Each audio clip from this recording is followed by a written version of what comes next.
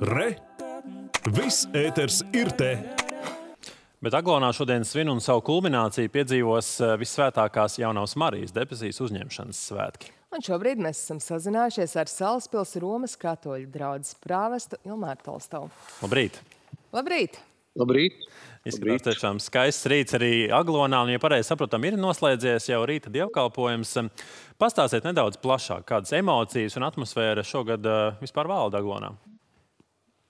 Vispirmkārt, jāsaka to, ka daudz ticīgie cilvēki priecīgi, ka pēc uh, divu gadu pārtraukuma, jeb uh, svētkiem, kurā bija ierobežota ticīgo skaita klātbūtne, šogad mēs atkal varējām pulcēties kuplā skaitā, un to varēja redzēt vakar, kad uh, 14. augusts iekrita svētdienā, kad uz vakara misi 19. bija diezgan daudz cilvēku, arī palika uz krustaceļu, un tā bija tāda svētku atmosfēra, prieks. Gan eh, tiem, kas gāja kājām, gan tiem, kas atbrauc. Tā kā aglona pakāpeniski atgriežas savā ierastajā ritmā. Un, protams, nu, eh, cilvēku skaits ir mainīgs. Katrs mēģina atrast iespēju tomēr atbraukt. Eh, vakar bija brīvdienas un darba diena, bet tomēr cilvēki priecīgi, smaidīgi. Rīta dievkalpojums bija apmeklēts arī bazilikā, un tagad būs nākamie dievkalpojumi. Tā kā šeit valda prieks, varbūt mazliet drusku ir pa karstu, bet to jau mēs nekādīgi nevaram ietekmēt. Bet esam ļoti priecīgi, ka aglona atkal pulcē pulcējas ticīgie cilvēki. Jā, kāda būs turpmākā dienas gaita šodien vēl? Iezīmējiet, lūdzu, būtiskāko. Pulkstens deviņos būs dievkalpojums šeit pie ārā altāra, kur vadīs bīskapi un sniegs arī iestiprināšanas sakramentu. Tas ir tāds svarīgs sakraments, kuru katoļu ticīgie saņem pēc kristības un iesvētības.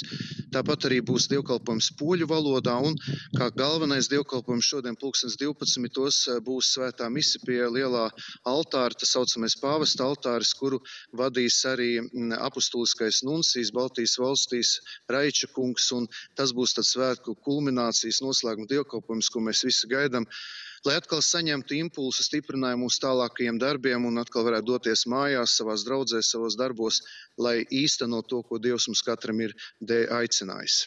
Ar kādām domām jūs, arī sveceļnieki, kas ar jums devās kopā uz Aglonu, vada šīs dienas?